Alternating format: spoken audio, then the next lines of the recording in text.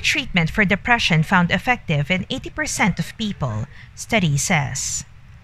Depression is common these days, and many sufferers frequently experience feelings of helplessness and hopelessness. But what makes it worse is lots of cases are left untreated, and one reason behind that is resistance. However, a new study gives hope to those struggling with treatment resistant depression. Having a bad day is normal, and many of us actually feel blue from time to time. If feeling blue persists for weeks, months, or even years, that may be a sign of depression so it is better to consult with a professional just to be sure. This is because undiagnosed and untreated depression can risk a person of adverse outcomes. If you know someone who's experiencing blues consistently for a long time, reach out to them and offer aid. According to the Mayo Clinic, depression is a mood disorder that causes a persistent feeling of sadness and loss of interest. There are several types of depression, such as major depressive disorder and seasonal affective disorder.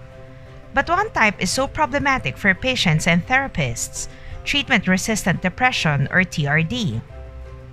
A study published in BMC Psychiatry noted treatment resistant occurs commonly in up to 30% of treated MDD patient population. In the American Journal of Psychiatry, Stanford researchers came up with something to help patients with TRD. They revealed a new hope for these patients neuromodulation.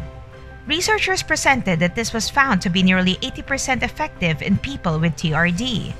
Senior author Nolan Williams said that their treatment is not invasive and works quickly. In the study, researchers called it Stanford Accelerated Intelligent Neuromodulation Therapy, or SAINT, a new type of magnetic brain stimulation. A total of 29 patients with TRD participated in the study. Half of them received the treatment and the rest received the placebo version to replicate the real treatment. Five days after treatment, 78.6% of participants in the treatment group were no longer depressed. SAINT isn't a completely new treatment for depression. It was based on the FDA approved therapy called transcranial magnetic stimulation. Unfortunately, only 50% of patients who get that treatment improve, and only one third experience remission. Stanford researchers simply advanced the existing treatment by aiming at magnetic pulses according to the patient's neurocircuitry and giving more pulses at a faster pace. While the new treatment is yet to become part of the standard treatment, it appears to be a good option for those who really won't respond to other therapies designed for TRD. So, those who have been dealing with TRD for years may want to consult this therapy. Let's hope it is also affordable and accessible for everyone.